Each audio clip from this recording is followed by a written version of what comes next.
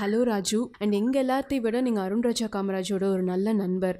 So உங்களுக்கு இந்த விஷயம் எப்போ தெரியும்? நேற்று நைட்டு ஃப்ரெண்ட்ஸு கால் பண்ணி சொன்னாங்க. ஓகே ஆம், நாங்க எல்லாம் பக்கம் நெய்பர்ஸ் நாங்க என் வீட்டு பக்கத்து வீடு. இப்ப ஊர்ல இருந்து சென்னையில இல்ல. அவங்க பக்கத்து வீடுனால அந்த குரூப்ல போடுவாங்க அவர் ஒரு வாரத்துக்கு முன்னாடியே வந்து பக்கத்து இவர் இறந்துட்டாங்க அவங்க இறந்துட்டாங்க எல்லாம் போடும்போது இவங்க வந்து அதுக்கு முன்னாடி நம்ம ஃப்ரெண்ட்ஸ் டேரக்டர் சிவால அவர் ஃபோன் பண்ணியிருந்தாரு. நான் ஆக்சுவலி தூங்கிட்டேன். அப்புறம் அப்புறம் கால் பண்ணி திருப்பி திருப்பி கால் பண்ணதுனால நான் அதுல இருந்துச்சு எனக்கு அப்பதான் தெரியும் நைட்லாம் நான் தூங்கல. இப்போ வரைக்கும் என்னால நம்பவே முடியல. நான் வந்து அவங்க எதிர்பார்க்கவே மாட்டான் செலுத்துற அந்த மாதிரியான ஒரு லாஸ் தான். ஆமாம் இப்போ என்னென்னா அருண் ராஜா காமராஜ் அவர்களுக்கும் கோவிட் பாசிட்டிவ் அண்ட் அவரும் ட்ரீட்மெண்ட் எடுத்துட்டு இருக்காரு அப்படிங்கிற மாதிரி கேள்விப்பட்டோம். முதல்ல அவங்க அக்காவுக்கு வந்திருக்கு. அவங்களுக்கு வந்து ஃபர்ஸ்ட் அவங்களுக்கு வந்திருக்கு.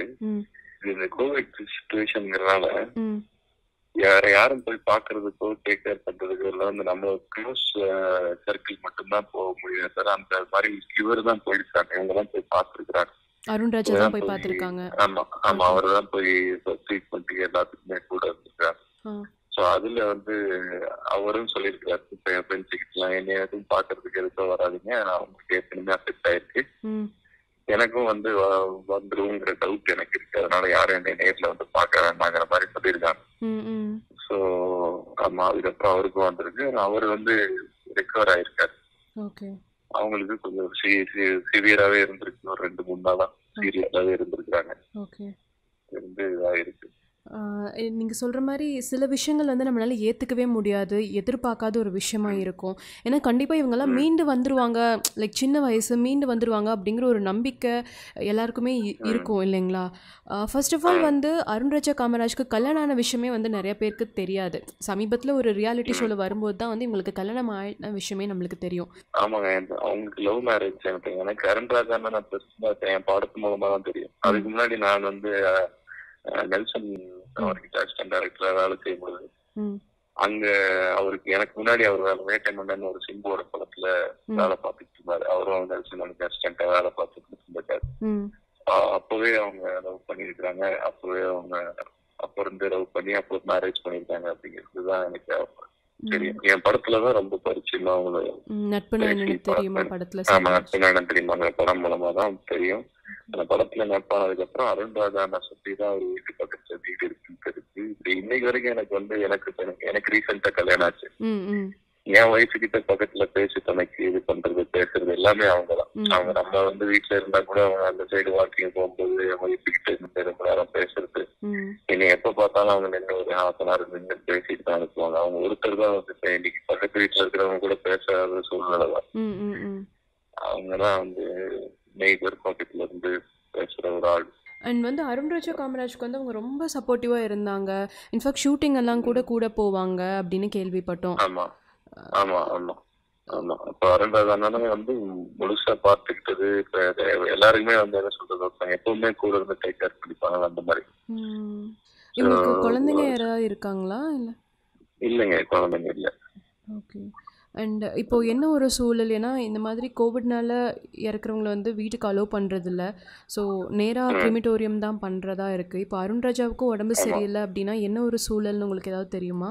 இப்ப இது எப்படிப்பட்ட இதுல இருக்கோம் நாங்க? இப்போ நமக்கே தெரியும். இப்போ அவங்க கோவிடுங்கிறனால அவங்க நேர்ல போக முடியாது இது பண்ண முடியாது. ஏன்னா அவங்க இந்த மாதிரி நேரத்துல இப்ப நான் அவர்கிட்ட பேசும்பொழுது கூட. இது மாதிரியான தகவல்களை கேட்கறதுக்கு கொஞ்சம் சங்கடமா இருந்தது. அதனால கேட்கல. அவருக்கு ஆறுதலாம் எப்படி சொல்றது? இப்போ ஒருத்தங்க போய் கையை பிடிச்சு ஆறுதல் சொல்றது பார்த்து இது பண்றது யாரோ இறந்துட்டாங்கன்னா போய் பார்த்து அழுகிற மாதிரியான சூழ்நிலை இப்ப இல்லை. அதனால அவங்க வேற ஒரு எழுபத்து மைதானத்தை புக் பண்ணிருக்காங்கன்னு சொன்னாங்க இங்க. ட்ரிப்ளிகேன்ல. அங்கதான் இன்னைக்கு காலையில நடக்குது அப்படிங்கிற மாதிரி சொன்னாங்க. பட் ஸ்டில் இவருக்கு இருக்கிறனால இவரால நேர்ல கூட போய் பார்க்க முடியாது. அந்த மாதிரியான ஒரு போய் ஆக்சுவலாக அதுதான் ரொம்ப கொடுமையான ஒரு விஷயம் இல்லை. நம்மளுக்கு ரொம்ப. நெருக்கமானவங்களுக்கு கடைசியாக ஒரு. இறுதி அஞ்சலியில் கூட கலந்துக்க முடியாது. ஒரு ஒரு டெத்துங்கிறது வந்து ஒரு மரியாதை அதுக்குன்னு ஒரு வேல்யூ இல்லாம போயிருக்குல்ல இப்ப நம்ம இப்ப எவ்வளவு இப்போ டிவில டெய்லி காலையில போட்டாலே இதுதான் வருது. எல்லாரும் மைண்ட்ல இதுதான் இருக்கு. ஆனா வந்து இன்னும் வந்து பாதி பேர் பாத்தீங்கன்னா பொறுப்பே இல்லாமல் இன்னும் ஊர்ல இல்லாமல் வந்து ஆமா யாருக்கு? அதாவது அவங்களுக்கு அப்ப எனக்கு ஷூட்டிங் நடக்கிறவங்க கூட சொல்றேன் நான். இப்ப சில சில டெலிவிஷன் சீரியல்லாம் வந்து தெரியாம ஷூட்டிங் நடக்கிறதா கேள்விப்படுறேன். எங்களோட ஷூட்டிங் இப்ப இப்ப நமக்கு ஷூட்டிங்லாம் கிடையாது. இருந்தாலும் வந்து அவங்களுக்கு என்னன்னா என்ன அந்த டே ஷூட்டிங் அந்த அறுபது பேர் பண்ணா ஒரு ஒருத்தர் எங்க ஆம், அதை எப்படி கட்- கட்டுப்படுத்துறதுக்கு நம்மளும் சேர்ந்து ஹெல்ப் பண்ணணும். இல்லைன்னா இந்த மாதிரி நம்மளால நமக்கு ரொம்ப நெருக்கமானவங்களை இழக்கக்கூடிய சூழ்நிலைக்கு நம்ம தள்ளப்படும் நம்மளால அதை காப்பாற்றவே முடியாதுங்கிற மாதிரியான ஒரு இதாயிடும்னு ஒரு பயம் இருக்கு. இந்த மாதிரி சூழ்நிலையில வந்து உயிர் பொழைச்சாவே போதுங்கிற ஒரு நிலைமையில தான் நம்ம எல்லாருமே இருக்கோம் இல்லைங்களா ஆமா ஏன்னா இப்ப யாராவது தெரிஞ்சவங்க ரொம்ப க்ளோஸா இருக்கிறவங்க திடீர்னு இப்ப ரீசெண்டா ஒரு நேற்று ஒரு குரூப் ஒரு ஃபேமிலி குரூப்ல இருந்து ஒரு மெசேஜ் வருது.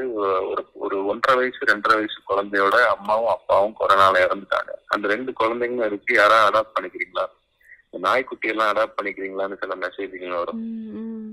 அந்த மாதிரி குழந்தை வந்து அதுக்கு என்னங்க தெரியும்? அது அந்த மாதிரி டெய்லி அது மென்டலி எல்லாருக்குமே ஒரே அவரு வந்து இது அவரு அவருக்கு அவருக்கு தான் நம்மள எல்லாத்த விட பெரிய லாஸ் அவருக்கு தான் அவருக்கு எப்படி ஆறுதல் சொல்றதுன்னு யாருக்குமே தெரியல. அவரு ஆமா எது என்ன வார்த்தையோ எதுவும் அவருக்கு இது இது பண்ண முடியாது. அவருக்கும் இது இருக்கு அவர் ரெக்கவர் ஆயிட்டாரு. இருந்தாலும் கூட யாருமே இல்ல. ஒருத்தருமே பக்கத்துல வர மாட்டாங்க. எல்லாருமே பேசுவாங்க வைப்பாங்க பாசமான எவ்வளவோ பேர் இருப்பாங்க. ஆனா இந்த நோய் வந்து போய் பக்கத்துல பக்கத்திலேயே பார்க்க முடியாத அளவுக்கு ம். ஒருத்தங்க இறந்து போறாங்கன்னா இன்னொருத்தர் மனசு விட்டு அழுகிறதுலயும் இன்னொருத்தர் கூட இருக்கிறவங்க எல்லாம் ஃப்ரெண்ட்ஸ் எல்லாம் கூட வந்து நிக்கிறதுல தான் அந்த ஆறுதல் இருக்குமே தவிர. இந்த மாதிரி போன்ல மாறி மாறி பேசிக்கிட்டோ அழுதுகிட்டோ என்ன பண்ண முடியும் சொல்லுங்க? அந்த மாதிரியான ஒரு இதுல இருக்கும். நீங்க பேசுனீங்களா அவர்கிட்ட? இந்த விஷயம் கேள்விப்பட்டது. ஆமா நேற்று நம்ம பேச வேண்டாம்னு எல்லாருமே சொன்னாங்க. இப்போ எனக்கு தெரியும் சொல்லிட்டு இந்த மாதிரி நேரத்துல ஆனா எனக்கு மனசே கேட்கல. அவர்கிட்ட பேசணும்னு நான் பேசிட்டேன். ஆ. நைட் ஒரு மணிக்கு ஃபோன் பண்ணி பேசிட்டேன். ஒரு ரெண்டு மூணு நாளாவே சீரியஸா தான் இருந்திருக்காங்க அவங்க அவர் வந்து திருப்பி திருப்பி அதான் அவர் அவர் பேசுறதுலே தெரியும்ல அவர் அதாவது, இது இந்த மாதிரி விஷயங்கள் சொல்ல வார்த்தைகளே கிடையாது கண்டிப்பா. ஆமா. ஆனா இந்த மாதிரி நேரத்துல வந்து கடவுள் அவருக்கு தைரியத்தை தான் கொடுக்கணும் அப்படிங்கிறத தவிர நம்மளுக்கும் என்ன சொல்றதுனே தெரியல.